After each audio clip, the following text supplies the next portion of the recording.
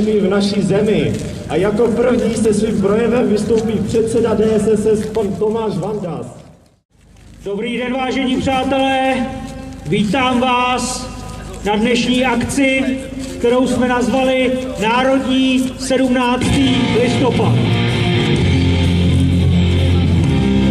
Takže vítám vás jménem Dělnické strany sociální spravedlnosti. Dovolte mi, abych zde i mezi námi přivítal naše vzácné hosty ze zahraničí. Abych přivítal místo předsedu Ludové strany naše Slovensko, pana Martina Beluského, který je zde přítomen, a současně poslance také Národní rady Slovenské republiky. toho, že stejně jako před listopadem 1989 nám i dnes vládnou elity, které jsou naprosto odtrženy od běžného občana, kteří se nestarají o starosti běžných občanů, kteří se starají především o svoje plné kapsy. Vládnou nám kolaboranti, podvodníci a bývalí spolupracovníci tajných služeb. To je výsledek po listopadu 1989. Také nemůžeme hovořit o tom, že bychom se dočkali demokracie a svobody slova, jak jsme se těšili, že se konečně takovéhoto stavu dočkáme. Bohužel ta realita je úplně jiná. Protože pokud bychom měli hovořit o svobodě slova, o demokracii, tak by nebyli lidé, kteří jsou proti tomuto režimu, kteří říkají naprosto jiný názor, než je ten oficiálně povolený, tak byli ne, nebyli cejchováni jako extremisté, rasisté, xenofobové. Je špatná, že je nečistá, že tedy nechtějí mít s ní nic společného. Bohužel si ale neuvědomují, že politika se zajímá o ně. Politika je nakupování. Politika jsou ceny energií, služeb, nájmy. To vše je přece politika. A pokud mávnu rukou nad politikou a nezajímám se o ní, mávám současně rukou i nad svým životem, nad možností něco ovlivnit, mávám rukou lhostejně nad svým to neúspěch svádět na spiknutí tajných služeb nebo na některé agenty, kteří údajně vykrádali jiným politickým stranám volební hlasy v hlasovacích místnostech. To je prostě nesmysl, bereme to tak, jak to je, protože lidé v drtivé většině zůstali doma a tudíž umožnili vládnoucím podvodníkům a kolaborantům udržet se u kory. To je výsledek krajských voleb. Bohužel tak toto dopadlo, byť jsme upozornili na to, že hrozí, pokud lidé zůstanou doma, že hrozí pokračování tohoto stavu. Že nacionalismus na nás může vyvést z krize. Že nás ochrání nejenom před těmi skorumpovanými elitami, ale že nás také také říká, také, že zařídí, aby naše země fungovala lépe. Co je však patrné a zřetelné, je to, že především zařizuje svojí plnou kapsu, on, který získal pochybně e, majetek v rámci tzv. privatizace, což bylo rozkrádání státního majetku, on, který si koupil média a postupně buduje svoje mocenské impérium, tak tento člověk tvrdí, že je jedním z nás.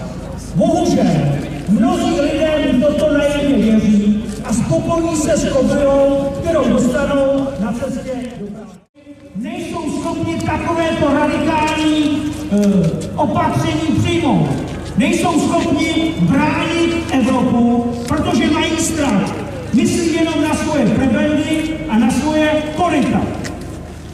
Současná Evropa, pokud chce přežít, tak se musí vrátit ke svým kořenům. Musí být tedy na bázi fungování spolupráce samostatných a suverénních národů a států v rámci hospodářské oblasti. Odmítáme to směřování k vytváření jednotného evropského státu. Odmítáme jednotné struktury, odmítáme odnárodňování států a přenášení pravomocí do celého rčení, že ty jeho názory jsou v tomto směru živé. Ano, můžeme souhlasit s názory, které má prezident republiky na imigraci. Protože on opakuje to, co říká dělnická strana už celá dlouhá léta. Rozhodně se však nestotožníme s tím, jak on vidí evropskou integraci, jak horuje pro zavedení jednotné evropské měny. Takže v tomto směru se jednoznačně rozcházíme. Ale zase v dané situaci si říkáme, že Miloš Zeman je daleko lepší v této situaci, než například spící kníže Schwarzenberg. Protože to by byla naprostá tragédie. A všimli jste si, jak ta umělecká fronta opět využila možnosti zautočit na hru. Umělecká fronta, co pak jim můžeme věřit? Vždyť to jsou lidé, kteří mění svoje názory v závislosti na vládnoucím režimu, kteří se zaprodávají každému režimu. Ti přece nemají žádný charakter, to jsou obyčejní kolaboranti, vlasti zráci. A jak říkám, nedělejme si nic z různých mediálních útoků a nedělejme si také nic z kulturních šašků, protože říkám, demokracie ani skutečné svobody jsme se nedočkali. Bohužel, po tak dlouhé době. Dočkali jsme se vládnutí kolaborantů a skorumpovaných exponentů, podvodníků, různých pochybných existencí.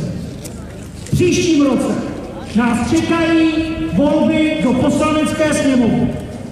Půjdeme tedy do tohoto boje, už nic nebude. Pojďme tedy do toho společně.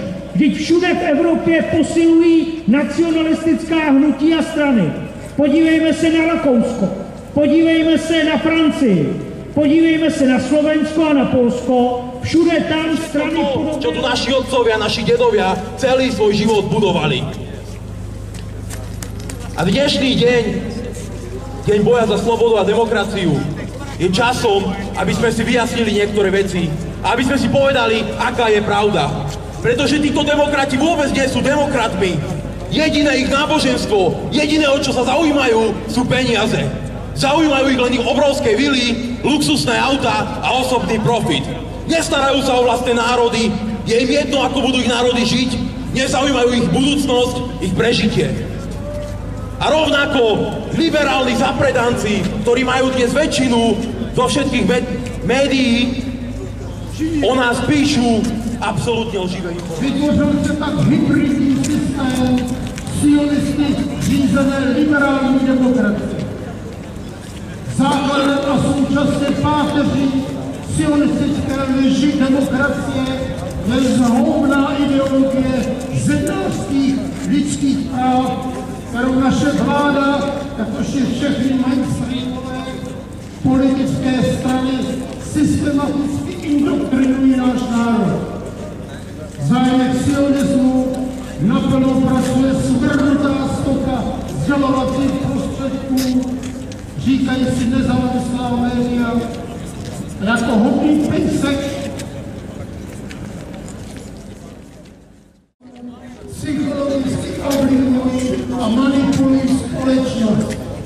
Je to přesný model toho, co dělal bolševický tisk.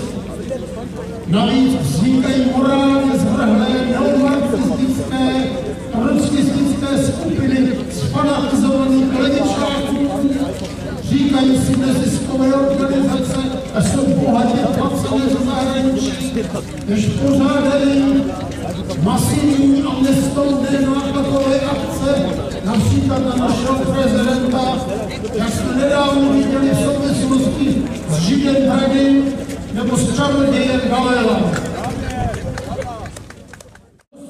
Co se dalo? V liberálním kapitalismu jsou na tom nejhůře dělníci, kde je jich půl milionu prosím práce, další sta tisíc očekávají jak zemomora. V oblasti bezpečnosti státu přivedly vlády náš stát do bezhradné pozice vůči okolnímu světu. Máme vůbec nějaký stát, ještě máme armádu, pro budoucnost národa je vysoce nebezpečná, řekl bych zločinná výchova mládeže na všech stupních škol. Pod lživou rouškou svobody měkýce je mládež indoktrinovaná multikulturalismem,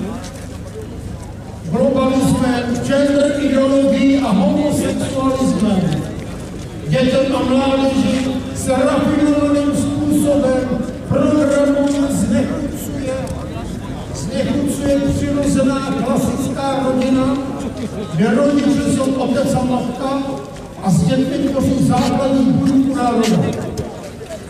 Značné části české a moravské mládeže je cizí pocit vlastenectví, což je hrdosti na svůj národ, nemluví o znalosti morální duchovních principů křesťanství, aniž vyrostla evropská civilizace.